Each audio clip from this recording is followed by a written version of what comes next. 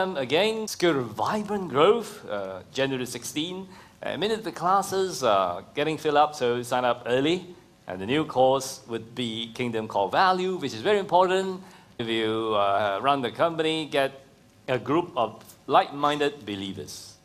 Yeah, one or two non-believers, okay, but the last large majority should be the believers that you can share your vision, your core value, uh, so that you can, as a salt, influence the rest of the people. God told us that uh, He wants us to be the salt of the earth. Not to be influenced, not to be a thermometer, but to be a thermostat. And uh, okay, what's of this exciting testimony just came fresh? Sudden increase through sowing. In the month of November 2017, I was prompted to sow a weekly miracle seed. Suddenly, the clients began to increase in two weeks, and there were 10 new jobs. Amen.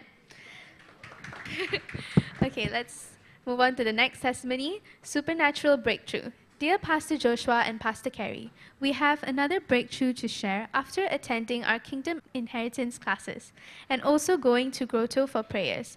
My flat of 90 units which was completed in 2008, still had a balance of 19 units unsold, and we have actually given up on the sales as it was very difficult to get buyers. But praise be to, the, to God, two weeks ago, we suddenly received a letter saying that they wanted to buy 17 units from us. The balance two units they will take on the next year. Hallelujah. It is truly a supernatural miracle breakthrough for us. Thank you, Pastor Joshua and Pastor Kerry, for the lessons and the sermons reminding us that God is always in control as we focus on Him. All glory to our Lord Jesus Christ. Amen. The next testimony is no lack even while sowing in dry season. Dear Pastor, my company declared that it would be not it would not be able to pay the employees regularly. Initially, it was manageable as the salary was credited once in a few months. But things got worse in 2017. I was in a dilemma about what to do. We decided not to give in to discouragement, but to rest in His love and to continue serving Him through various ministries and sowing what we could in the dry season. According to His word, we, we never had any lack throughout this famine. Throughout this famine period, He indeed is our Jehovah Jireh, and He kept ministering to us through the Sunday messages and manna. The vision for 2018 gave me something to claim and cling on to. We kept focusing on Jesus Christ and declaring that it would be a year of supernatural overflows. Even when the situation appeared to grow worse, we believed that the Lord was arranging things in our favor. In early 2018, our company got a project, and that was a definite miracle. Things didn't improve immediately. We attended Kingdom Dynamics, and the lessons were a tremendous blessing to me as it helped me to cast my cares on Him and stay focused on His love. On September 9, the Lord astounded us through a prophetic word by lead pastors in the Sunday service. It increased my faith to expect the impossible, and that same month, the Lord enabled me to receive my salary arrears for 18 months. All glory to my Lord Jesus for watching over His word to perform it. Thank you, Lord Jesus, for using our pastors to minister to us week after week, building our lives through the word of God Thank you for our zone pastor and to our care group family for their love. Amen. Yeah, give God a hand. Hallelujah. And I think the message uh, today the government wants us to receive is sowing, uh, because this coming year is what year is that? Is the fruitful ingatherings, and you're not going to get ingathering.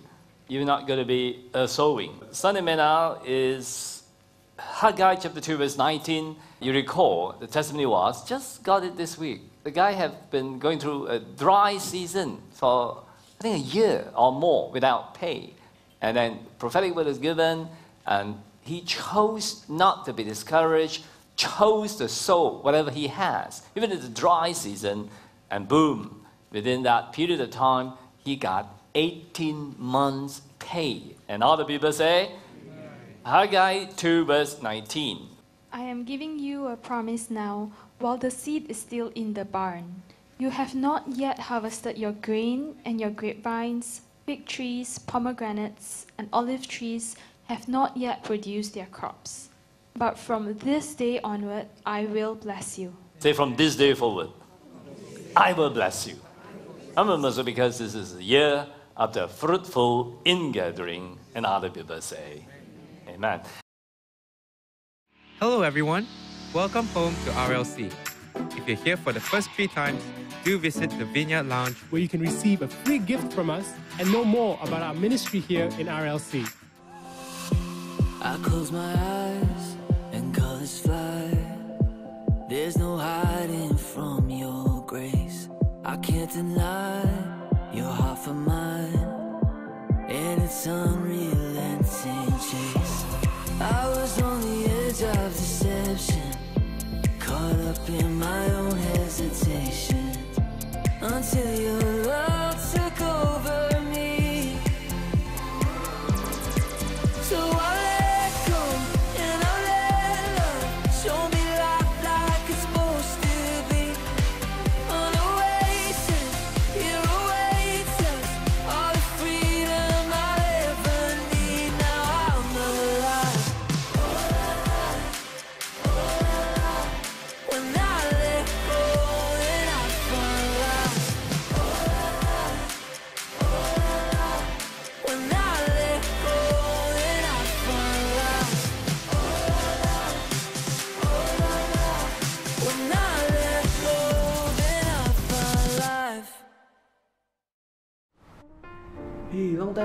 How are you doing, ah?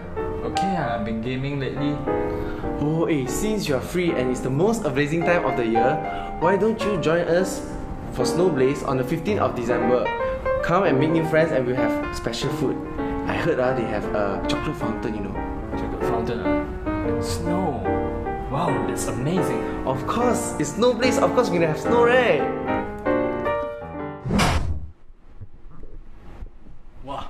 Nice eh. I know, right? So, see you at Snow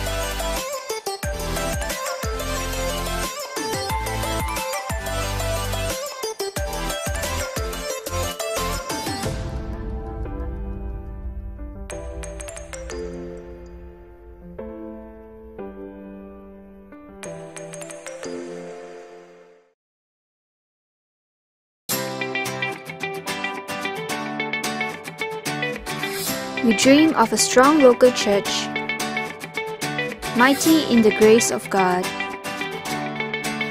reaching out with great compassion, disciple and transform by the love of Christ.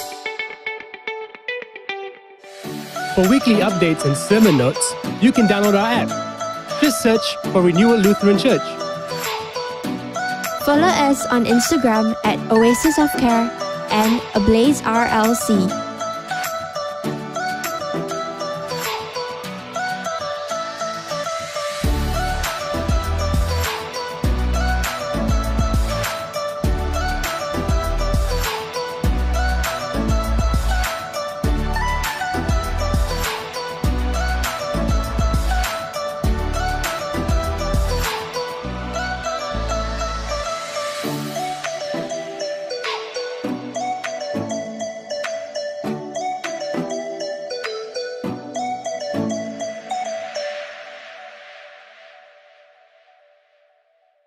Father, we want to thank you for this morning in the name of Jesus Christ, to rebuke and bind every foul wicked spirit to go from here right now in Jesus' name. Your word may have free course in the midst of us, and other people say, Yeah, this year is your year of what? Fruitful in gatherings. Uh, God wants us to bear much fruit. What is the key? Is that allow us to be cut. Doesn't mean cutting your limb and uh, ear is to be lifted up. You recall that Greek word is not cut, cut, but to lift up. Just like those, you go to the vineyard in Australia or France, they lift up the branches away from the ground that will pollute and soil the branches so that we can bear more fruit. And then he pruned. How do we prune? The word prune, remember in Greek, is to be cleansed. Cleansed by the word of his grace to lift us up to what we can be. And of course, words of correction and sometimes also pruned by situation in life that causes us to be patient. The farmer plant the seed and patiently wait for it. And also, we see how Jesus Christ said, want your fruit to remain. You got to take away all the weeds, yeah, all the worry or the anxiety, the deceitfulness of riches. Nothing wrong with riches, but there's some deceitfulness about riches that causes uh, to be so busy that we're not fulfilling God's purpose in our life. Yeah, put it this way if you're too busy to serve, you're really too busy. And watch out for the barrenness of a fruitless life. We want to do something that impact for eternity, not just one particular season, but for eternity. And uh, just talk about how we can be fruitful is to be rooted in Him. To remain in Him, be rooted in Him. Rooted in God's Word, and also uh, rooted in the care group. You recall the amazing Californian redwood trees, the, the huge tree growing hundreds of feet, and they may face forest fire.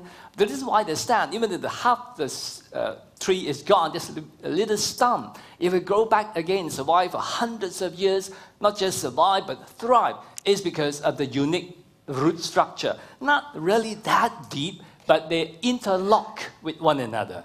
So intertwining with one another. So care group is very important. Uh, we just produced that little card for you to recap uh, what the care group can do for you. You go to the care group not because for my sake, for the zone pastor's sake, for your own benefit. You get connected. This little card we just produced. Uh, the first blessing, get connected. You feel a sense of belonging. Even though the church is big, you feel you're in the smallest church because you get connected with people care and prayer for one another. That's what care group do. And practical sharing of the Word of God, emphasizing on the practical application of what we learn on Sunday in our everyday life. And also get to a practical sharing of the unique variety of food that Malaysia can offer. And of course, de- developing your life and EQ, yeah, the relationship skills, and developing your gifts and leadership skills. So, going to be fruitful get involved. And if not, uh, fill up a card to get involved, uh, indicate to us what you be involved, let us know. Today to talk about how you can hear God's voice by walking through the tabernacle again. This time round, focusing on how through the tabernacle we can learn to hear His voice. The ultimate purpose in our series, uh, this series of messages, the worship experience, is the restoration of the tabernacle of David. Acts tells us. Acts 15, verse 16. After this, I will return and will rebuild the tabernacle of David, which has fallen down. I will rebuild its ruins and I will set it up, so that the rest of mankind may seek the Lord. Wow, the ultimate purpose of the worship experience that we may seek Him. Why is it important that uh, we seek Him? Because God has unique blessing for us in Exodus. Exodus 25, verse 22. And there I will meet with you, and I will speak with you from above the mercy seat. And you know what? He speaks blessing, not condemnation. And you can see that in Numbers. Numbers 6, verse 24 to 27. Whenever Aaron and his sons bless the people of Israel in my name, I myself will bless them. Wow, awesome, huh? Uh, whenever Aaron blesses the people, I will bless. See, Aaron is a picture of Christ. And everything Christ blessed, how many must know God blesses. Every time your pastor, on behalf of the Lord, blesses you, God blesses you. Every time you, as a father or mother in the household, bless your children, many must know God is blessing your children. So, the ultimate purpose of the tabernacle of David being restored, the worship experience, is not just about having a good time, it's about receiving blessing, hearing from Him, letting to hear His voice. So I'm going to share with you, take with you a journey through the tabernacle again. And from the tabernacle, uh, tabernacle, we can see how we can develop our heart, prepare our heart to hear His, his voice.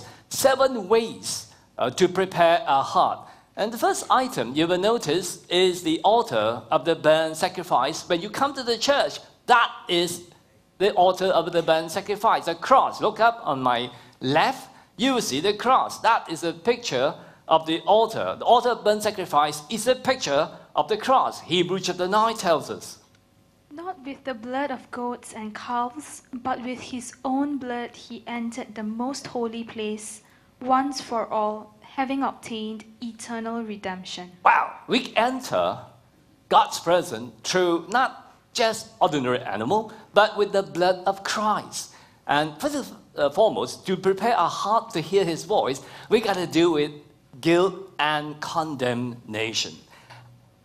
Sin should never drive you away from God's presence. Sometimes we did some bad thing, we don't feel good to come to God's presence. Hey, sin should never drive you away from God's presence. In fact, sin should drive you into God's presence. Because sin, right now, because of the cross, is not an issue. It has been already dealt with. The first thing that the worshippers see when they approach the tabernacle would be the ashes of the burnt sacrifice. Now, what are uh, ashes? If you look at the Hebrew dictionary, it means uh, the final product of a burnt sacrifice. Say, final product. In other words, your sin has been dealt with. So, how should we respond to the sin that we are conscious in our life? It should flood you with gratitude. It should flood you with praise. There's a way to respond, to prepare our heart. Uh, the first way to prepare our heart, even from the altar of burnt sacrifice, you can see that in Zacchaeus. Even as Zacchaeus received grace, he was flooded with gratitude. He said, Half my property I give away. And whatever I cheated, I return back double. How come Zacchaeus was able to do that? Because Zacchaeus received grace. You recall, Jesus looked up to Zacchaeus, was up on the tree. Jesus said, Come down, I'm going to be in your house, I'm going to be dining with you. Zacchaeus received grace. So when you receive your forgiveness, so important, uh, not to be filled with guilt and condemnation because of Christ. You receive your forgiveness. The more you receive your forgiveness because of what Christ has done, not because what you did. How long, uh, six hours of confession of your sin. Mm, It's not about your uh, work, it's about His work. The more uh, you receive His grace, how do we respond? Be filled with gratitude. One of the other way to be filled with gratitude is to praise. Look at Psalm 100. Psalm 100, verse 1 Make a joyful noise unto the Lord, all ye lands. Serve the Lord with gladness. Come before his presence with singing.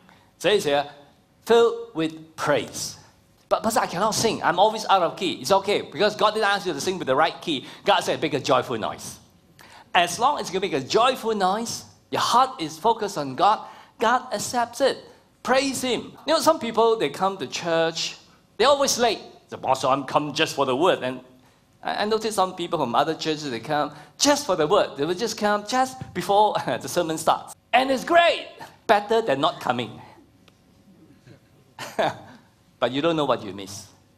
Because it's not just the word. The word is important, it's crucial. At least you come for the word. I thank God for that. But you're missing out so much. What are you missing? Psalm 18 tells us.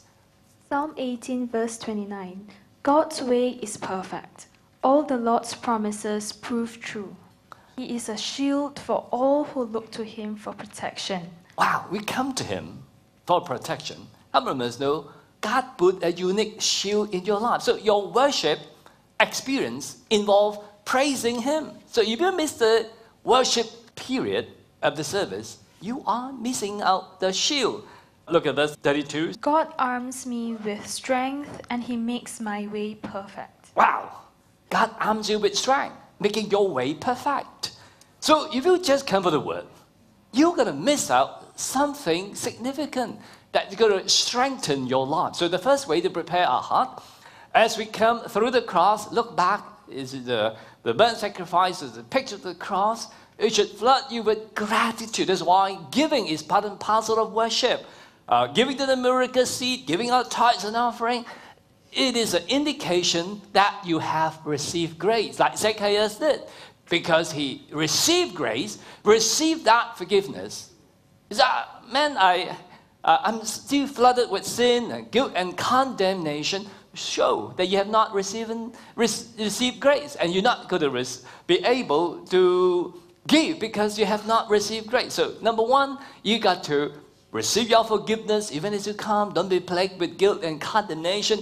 Number two, way to prepare your heart is the next item is a wash basin. You look up, you see a picture of the wash basin, and this is where the priests and the Levites, after having cut and slaughtered the lamb and the bull, can you imagine they will be covered with all kinds of uh, perhaps fat and blood, dirt.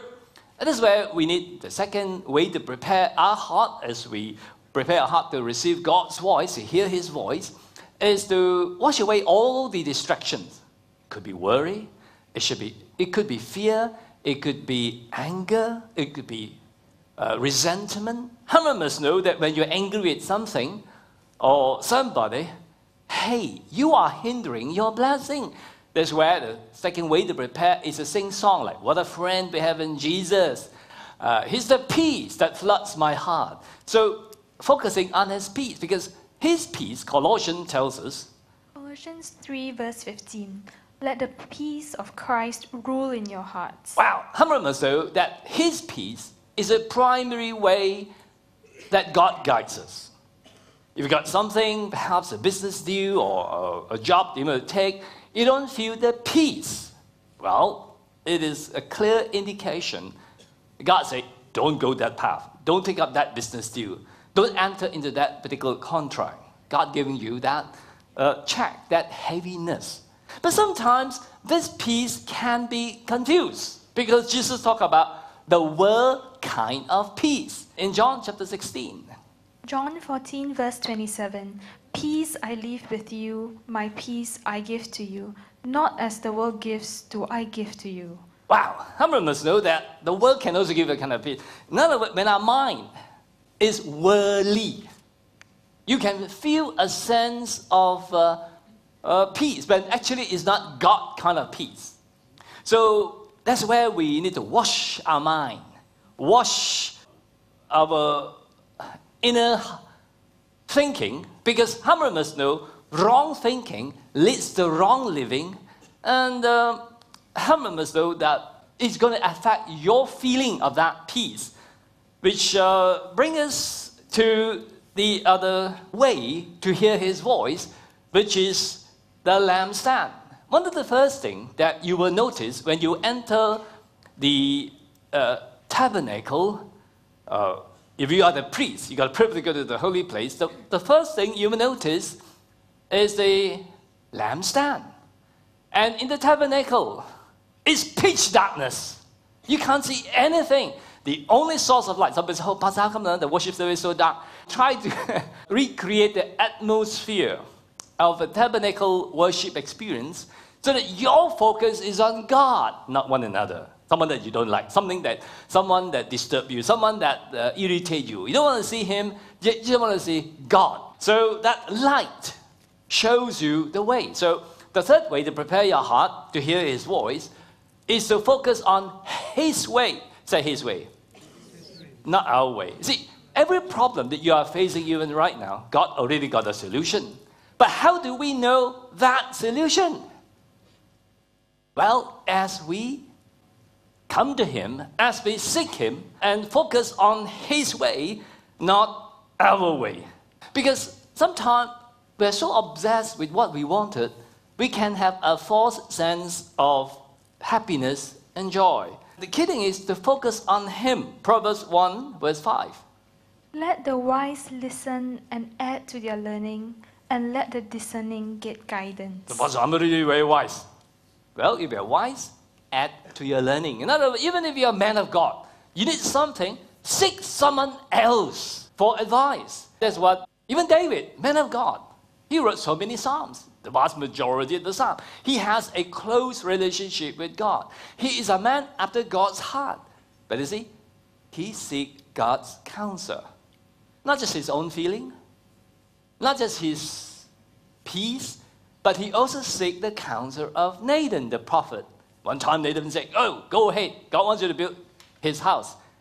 And later on, uh, it was proven he was wrong. Later on, Nathan came to David and said, Hey, you're not the one. Your son is going to be the one. But right now, you can prepare all the things that's needed for your son to build his house. So sometimes, even men of God can be wrong. This is why, when you want to make a major decision, it's important to get a few witnesses. That's what uh, Paul says in his letter to the Corinthians.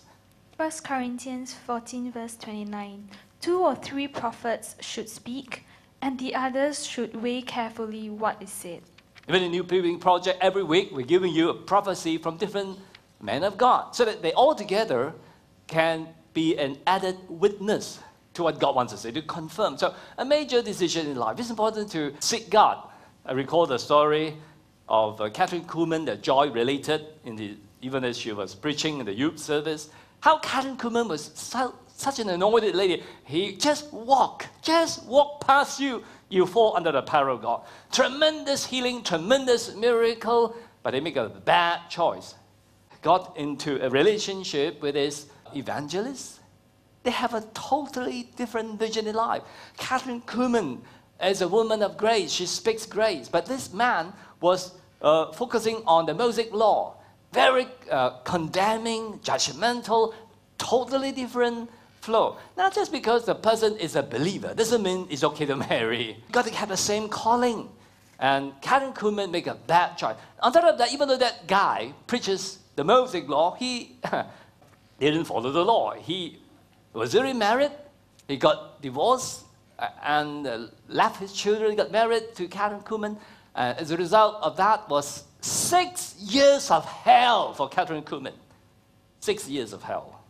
Because she said, she, she go against all the advices that she got, all the godly advices. But she felt good. That is a worldly kind of a peace. So the, the lampstand, the third way to prepare our heart, is to realize that God is the only source of life, not we. Huh? The next item uh, in the tabernacle is a table of show bread, which is, of course, the Word of God.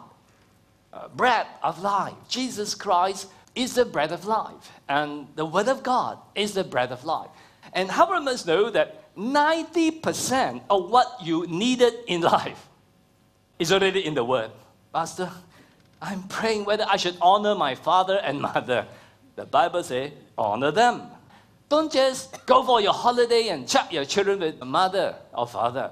Send your mother and father for the holiday. You stay home, take care of your children. And other people say, Amen. Oh, Pastor, I don't have the money. Yeah, when your mother and father raise you up, send you to the best school, they take additional job, they borrow money just to send you to school. Can't you send your parent to a holiday? And other people say, Amen. Amen. Honor your father and mother. Pastor, I, I pray whether I should send my uh, mother and father for a holiday. I don't have the money. Don't pray, just give. Hallelujah. Because when you want to, you have a way. Because it is for your benefit. That it may, you may live long in the land that the Lord your God has provided, that all may go well with you. The only commandment with a promise. Amen. Pastor, I'm praying whether I should love my wife. Cut it. The Bible says, love your spouse as unto the Lord. Pastor, I'm praying whether I should be giving the miracle seed. That amount. Hey, the chances are, when you hear a voice to give, is from God. The devil will never ask you to give. Pastor, I'm confused. God want me to give this amount, but I feel uh, God also wanted me to give a higher amount. The chances are the higher amount is from God because the devil will never ask you to give more. And other people say, Amen. Can I say ouch? All right. Oh, Pastor, I'm trying to reach out, but I'm not sure whether that person is ready. What does the word say? Jesus Christ himself said, Open your eye, the see, the field, already ripe on the harvest. When you feel, oh, that person is not ready, I'm not going to ask them for the Christmas event. I'm not going to ask them for the uh, Blaze event this Saturday, the snow blaze. Oh, they're not ready. Hey, see beyond. The field already ripe on the harvest. So when you have a prompting to reach out, that is definitely from God. Because the devil never prompts you to reach out. So what is already in the word, go for it. Because how many of us know the Bible tells us God's word is absolutely reliable? Psalms 12.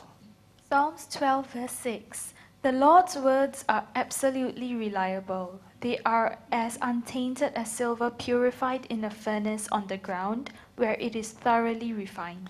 Now, the Bible is not a book on science, but when it touches on science, it's accurate. For example, the Bible says life is in the blood. Long before medical doctors discovered the importance of blood tests. One time uh, in the 1400s, a lot of sailors afraid to sail around the world because they think the earth is flat. Because if you sail, sail, and then boom, they drop into some kind of a bottomless pit. Except Christopher Columbus that got round the world because he believed the earth is not flat, as many of the thinking was at that time, because he is a man of God. He read the word, and he found it out in Isaiah. Isaiah 40, verse 22. It is he who sits above the circle of the earth. Wow, he sits above the circle. Long before scientists discovered the earth is round. The Bible already said in Isaiah. And Job, even amazing, huh? Job is the oldest book in the Bible, 4,000 years old, the time of Abraham. And Job already told us years before, during the time when the greatest Greek philosophers, right, the greatest Greek philosopher of the day said the earth seated on Hercules or a giant turtle. Long before that, Job already told us that the earth, look at Job, Job 26, verse 7. He hangs the earth on nothing. on nothing. Space. How many of us God's word is reliable? 90% of what you need is already there. There are times in which I go through challenging situation and I read the word that day. That day, word ministered to me. Of us know it's not by chance because God is in control of chance. So when you open up the word, be attentive to the word of God because the word of God will take us beyond what you can uh, in your limited human capacity. Look at Hebrew chapter 4, verse 12. For the word of God is living and powerful and sharper than any two edged sword, piercing even to the division of soul and spirit and of joints and marrow. Medical doctor tells us in the bone marrow, they produce about 200 billion red blood cells. Hey, the bone marrow is one of the most creative part of your being. And God's word touches that. So in other words, as you listen to God's word, you got creative ideas. Now with the, the Bible, very good. Yeah, the Bible reader, they have the audio Bible. So when I sleep, I get on the middle of the night, cannot sleep, just on the audio Bible, and I listen to it. And, and I found a lot of creative ideas coming out of that. And uh, meditate on His Word and write notes. And because why? Psalm 119 tells us Psalms 119, verse 18. Open my eyes that I may see wondrous things from your law. I just checked up this word, uh, I think this morning. Uh, the word wondrous is amazing. It means extraordinary. Say extraordinary. It means to go beyond the natural. In other words, your natural ability, uh, your natural understanding. So God's word, now I'm asking you to kiss your brain goodbye, but God's word will take you beyond your natural ability, uh, take you beyond your understanding. And, uh, and the key thing for us is to meditate and to write down what you uh, learn. Look at Psalm 102, verse 18.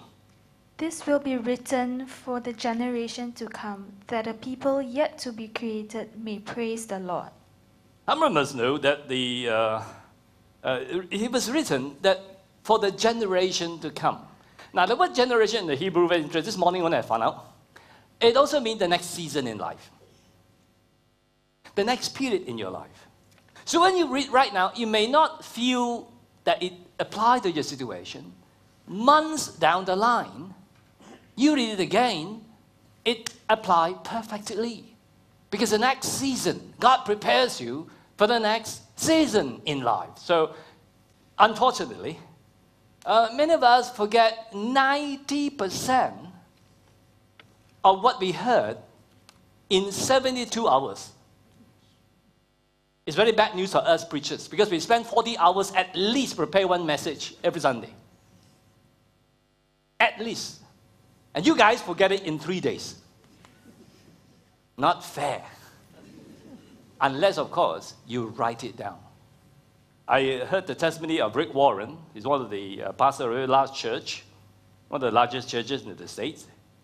The Lord spoke to him. Now, he is a Baptist preacher. Baptist people are not, not used to saying, the Lord said this, the Lord says that. Right? Baptist. And Rick Warren said, the Lord spoke to him one time. Don't cast pearl before swine. And Rick Warren said, Oh God, I think you're referring to the Pharisees, huh? The Lord says, No, I'm referring to you. And he was very shocked. Don't cast pearl before swine. I'm one of the swine. God doesn't want to cast the pearl. Why, Lord? And God said to Rick Warren, Because you don't even bother to write down what I spoke to you. It's important for us to write down what we hear in a message. To write down with your pencil, and nowadays, no need pencil in your application with your finger. And uh, this uh, last week, I hear another preacher. I was with my phone, and I just typed inside the box in the app, and I was able to email and copy and paste into a file, which I can go back there. In the next season in life, uh, Humbert Maslow is going to speak to us. So write down, because God say, you're not taking care of what I've given to you. Why should I giving, keep giving you pearls? Uh, and God said to Rick Warren, don't cast pearl before swine, because you let them fall away. Because if you don't write it down, next three days, you're going to forget everything you learned. So write it down. And uh, number five, the next item, the fifth item, uh, is the altar of incense, which is prayer. That's where the fifth way, the sixth way, to prepare your heart to hear from Him is to ask. And nothing is beyond what you can ask. Just share to Him honestly your feeling, your vision, your dream, what you want, what kind of a job that you wanted. Share to Him your hurt, your anger. Don't hide. God already know. Just release all your hurt, or even your fear. Lord, I'm just worried sick.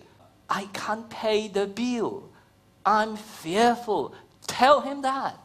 And tell him the struggles that you have. Don't pretend you overcome everything. God, I, I, I just overwhelmed by this temptation. I just can't overcome. I need your help.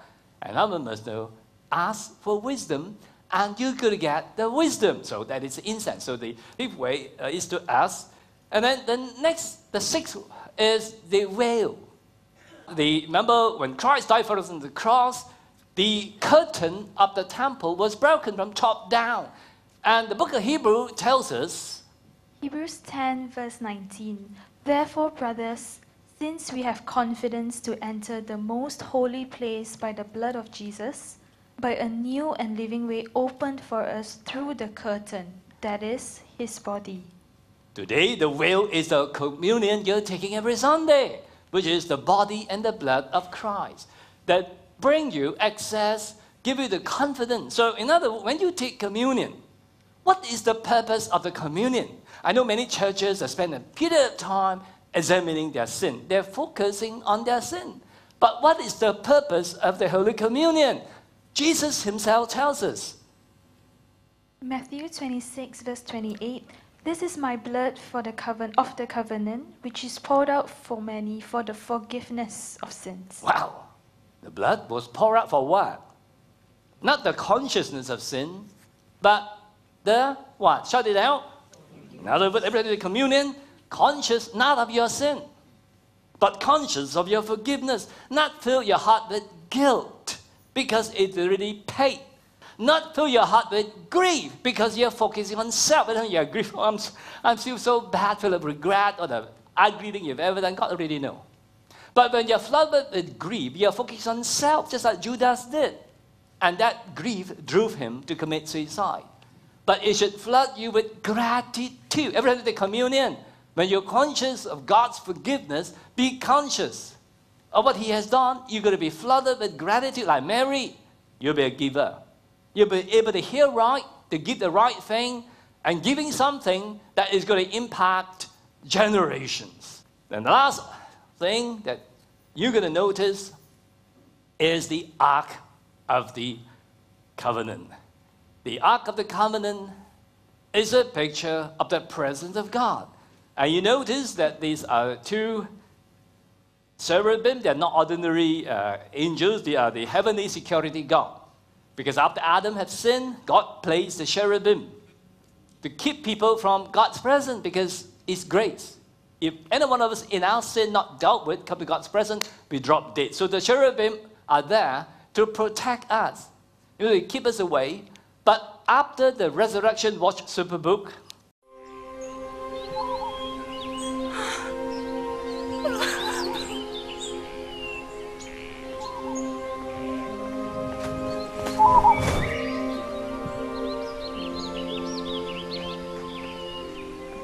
Woman, why are you weeping?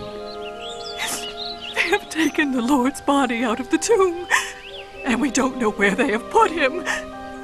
Why are you crying? Who are you looking for?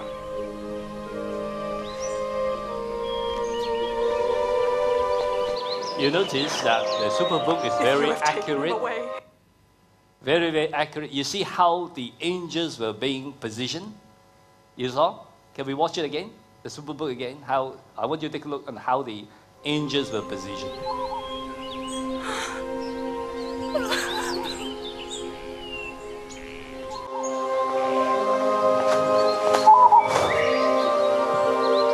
Look at the angels, the way they look at each other, exactly like the cherubim. These angels that the woman saw actually are the cherubim. But instead of keeping them away, because the cherubim saw blood, and because the cherubim saw blood, it was a voice of welcome, and the voice that came to Mary. Listen. Woman, why are you weeping? They have taken the Lord's body out of the tomb, and we Why don't know where. are you weeping? How many of us know there is no need to cry before God's presence? And, uh, and then the Lord appeared to Mary. And we don't know where they have put him. Why are you crying? Who are you looking for?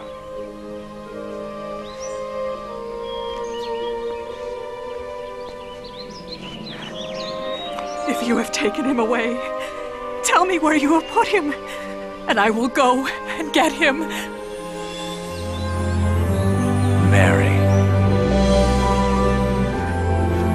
Not voice of condemnation because of the blood. Jesus Christ is the propitiation. Uh, the word propitiation means he makes us favorable. Not just your sin has been forgiven, you now have God's favor. And God is able now to meet with you, speak with you, and bless you. And uh, Jewish tradition tells us the first thing that the high priest does when the blood was acceptable, found to be acceptable, the high priest speak in a language he's never learned. The tradition don't understand. What is that? Hey, we all know that is praying in tongues. The first thing that happens when the Holy Spirit come is they pray in other tongue. One of the key ways that God speak to us as we pray in tongue. And let it be a gentle tongue. Because if you're very loud in your tongue, you're not going to be able to hear his voice because you will be drowned by your own voice. So, gentle tongue, gentle worship. Am- am- amazing uh, passage. Uh, I never shared this before, I think, here. Uh, is a passage in Isaiah 30. Isaiah 30, verse 21. Your ears shall hear a word behind you saying, This is the way, walk in it. Whenever you turn to the right hand or whenever you turn to the left. Wow. Your ears will hear a word behind you. You know, for a long time, I don't understand why we hear God's voice from behind. Until I found out this study by the University of Pennsylvania by a very renowned professor. He's not even a believer. And they begin a test having brain scan of people praying in tongues. They find the frontal lobe is not active. The frontal lobe is the, the thinking part, the analytical part. So maybe we have a blick with all kind of problem, we think. And the way, the place we think is the front part, which is the, the, the, the analysis part of your brain. And you notice God speaks from behind, not the frontal lobe. When you pray in tongue, this is not active. The brain scan you look up. Uh, you see, uh, when people pray in tongue, even when a person meditate, it's still active. But all the time that it's not active and the person praying tongue. This is done by the non-believer. Andrew Newberg and from the 2006 University of Pennsylvania study reported in the uh, New York Times. The problem is we can't hear his voice is because we focus on our mind. But God speaks us from behind. Why? Not the frontal lobe. As you pray in tongue, a very gentle way, you find God speaks to us. But the kidding is, Pastor, I don't know why I prayed that I didn't get anything. Have you prepared yourself, your heart? The six simple ways, very practical way. As you go into town, you find God speaking to us, not with our mind, but a lot, and sometimes in the most unlikely moment. The blueprint come. You may be plagued with a perhaps a problem in your business, problem in your relationship. You don't know what to do. You know what? As you pray and relax, not asking you to kiss your brain goodbye, but God wants to take you beyond. Remember, the, the wonderful thing is, is beyond the natural, beyond your understanding. Take you beyond. This is simple key on how seven way to prepare our heart to hear Him. And by the way, when He speaks, our words are blessing because what Christ did for us. Would you uh, pray this prayer together with me? Dear Lord Jesus, thank you for being my good shepherd. Right now, I receive you into my life as my shepherd, as my Lord. Thank you, Lord Jesus. I know even I make bad choices, you are with me, you are for me, and you will sort things out for me. Because you are the good shepherd who have already laid down your life for me. And all the people say, Amen.